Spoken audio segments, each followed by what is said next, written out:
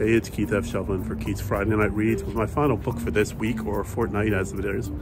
Uh, it's The Discoverers, A History of Man's Search to Know His World and Himself by Dr. Daniel J. Boorstin.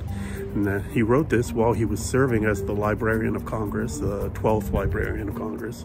And of course, I brought me, that what attracted me to this book as being a staff member at the library. Of course, everything I say on this podcast is my own opinion and not that of the library in. But uh, this was a very interesting nonfiction history. It started out by breaking down pretty much how we got the calendar and clocks and time, how we delineate, of course, I mean, the knowledge of years and days, months and days, but then even farther from that into hours and seconds and it was just something I was interested to know.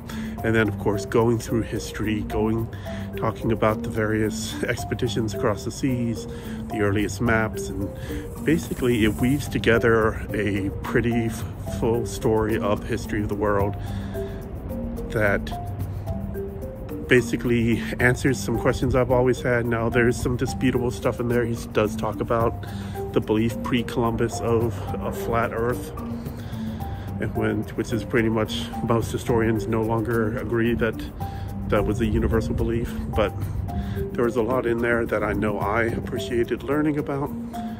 And I only read, uh, well, audiobook, listened to an abridged version of the book. I'm definitely going to try to search out and get, you have a full version to do read through because I know within a few hours of finishing reading it, I was already using some of the stuff I learned from it in talking to visitors to the library. So it's definitely one that I enjoyed reading. And it's the first in a series of books on knowledge that Dr. Boorstin wrote that I will definitely look into reading in the future.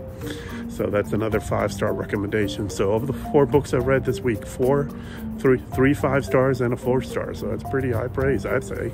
But then of course, that's, that's just me talking.